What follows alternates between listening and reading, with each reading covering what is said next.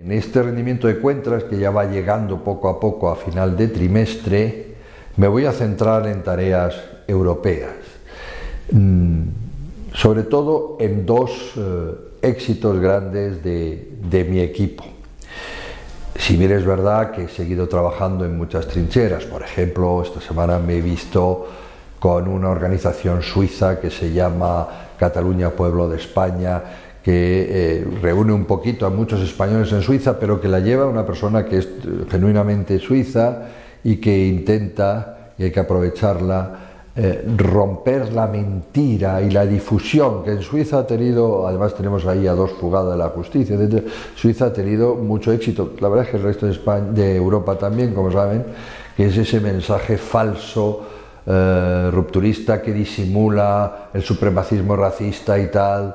eh, del separatismo catalán. También trabajado en diversas eh, reuniones eh, que podríamos llamar discretas para el asunto de Gibraltar, etc. también, por citar una cosa muy reciente de, ayer, hay una cierta alarma sobre esta ley que han sacado y votado todos, para mi sorpresa incluso eh, ciudadanos, por ejemplo, ¿no? Eh, que parece que exime a los partidos políticos de eh, cumplir con la privacidad que, a la que obliga la ley de protección de datos, lo cual, en fin, es peligroso, es revisable y estudiable. afortunadamente, la vicepresidenta de ALDE y, gran protagonista de la sección que llamamos LIBE, que es de libertades individuales y tal, la especialista en ese tema, en una política de gran eh, fuste, eh, ha reaccionado, ha reaccionado a nivel europeo, haciéndole una pregunta a la Comisión y haciéndole eh, una pregunta a la Agencia de Protección de Datos Europea para que por lo menos estudie el asunto. Y yo eh, aparte de agradecérselo, me eh, he hecho una carta a la comisaria Jourova, que es la que se ocupa de estos temas, en apoyo a ese movimiento y manifestando desde mi circunscripción la gran preocupación. Una serie de cosas. Pero yo quería destacar hoy para lo que ustedes, digamos, a lo mejor lo más esencial de que me hayan votado, que es la capacidad legislativa que tiene un eurodiputado europeo. Y ahí quiero transmitirles dos eh, grandes éxitos recientes de, la, de todo mi equipo, porque esto evidentemente es un trabajo muy duro, muy amplio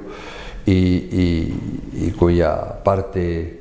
menos política y más eh, intelectual, pero muy difícil, lleva, lleva a mi equipo con brillantez. En el campo económico, que es uno de los dos ejes básicos de mi actuación, acabamos de em, producir eh, dos opiniones. Una sobre, y estamos negociándolo, sobre los, eh, los, lo que va a ser un embrión de eurobonos, tal vez, no lo es, pero sí es un activo europeo para las cuentas financieras. Y el segundo, mucho mayor éxito, es, eh, habiendo sido yo ponente, una opinión que parecía muy difícil de sacar incluso dentro del propio grupo ALDE, porque hay, digamos, eh, ultraliberales del mundo financiero también en el grupo ALDE, eh, muy subsidiariedad nacional, ustedes me entienden. Entonces hemos sacado con mucha diferencia una opinión eh, sobre la necesidad del reforzamiento y la necesidad de someter a eh, valoraciones y parámetros sociales un nuevo fondo de estabilización, que por ahora son solo 30.000 millones, pero que eso sí que es el embrión, y debe ser el embrión, y hemos insistido en ello, de un futuro fondo de estabilización europeo. ¿Qué es eso? Eso es que cuando haya crisis asimétricas en que los países débiles, como es España, van a sufrir más, va a haber un fondo europeo, un fondo de solidaridad europeo, nutrido muy en particular, muy en particular por los países más ricos y más poderosos, lógicamente, que va a poder acudir para eh, lo que se llama en economía convertirse en estabilizador automático, pero en fin, en unas palabras, para ayudar a que el choque ese de la crisis sea menos duro y menos violento eh, socialmente. Es decir, es una primera canalización indispensable fiscal de ayuda europea. Y se ha conseguido un apoyo parlamentario muy superior al que de principio nos vaticinaban. Y el otro gran eh, éxito que hemos conseguido también necesita un poco de pedagogía porque al final es una cosa que va a intervenir en los trabajadores europeos, donde estén, y que va a condicionar su calidad de vida, que es una normativa sobre derechos mínimos de todo ciudadano europeo que tenga relación con el trabajo. Derechos mínimos de información en tiempo, de compromiso por escrito, de eh, formación, eh, de horas de formación en su contrato de trabajo, de predicción del horario que se le va a pedir, de eh, reducción de la precariedad para evitar que sea uso arbitrario, etcétera. ya haré más didáctica al respecto. Bueno, ese embrión de derechos mínimos laborales a nivel todo europeo tiene sobre todo la finalidad de mejorar los mercados de trabajo de algunos países débiles que no tienen bien desarrollado, por ejemplo, su nivel de negociación colectiva y su nivel de diálogo social. No es problema de España ni de Alemania, es problema de otros. Pero sobre todo el objetivo que perseguimos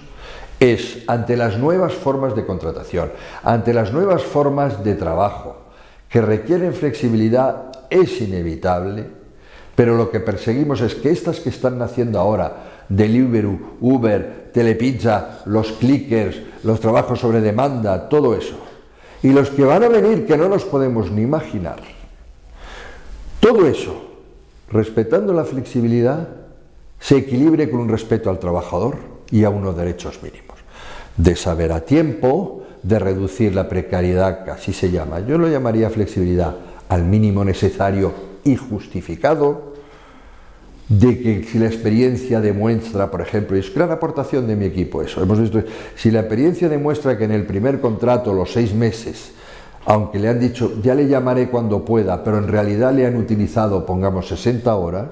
la renovación de ese contrato inevitablemente tendrá que recoger un mínimo de 45 horas. Ya no será, ya le llamaré cuando pueda, porque la experiencia demuestra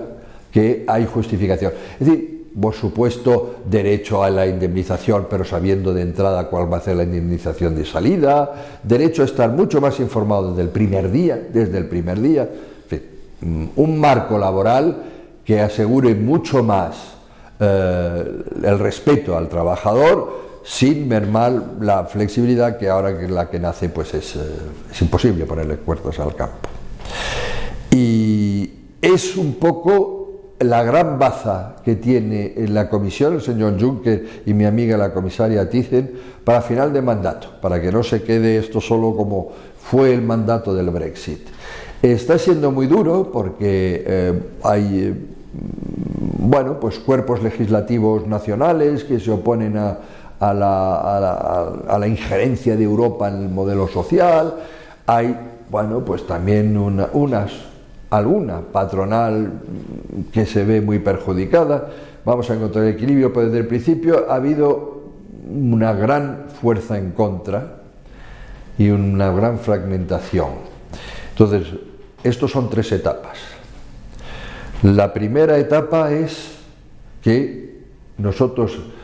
yo, porque en este caso soy el ponente, lo cual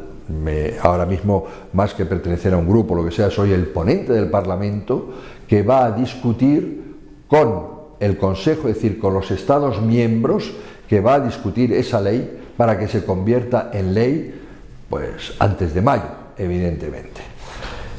Esa ley fundamental para los trabajadores del futuro. Bueno, por lo primero había que hacer una ponencia sobre la propuesta de la Comisión. Una ponencia que atrajera a eh, un apoyo suficiente y potente del Parlamento.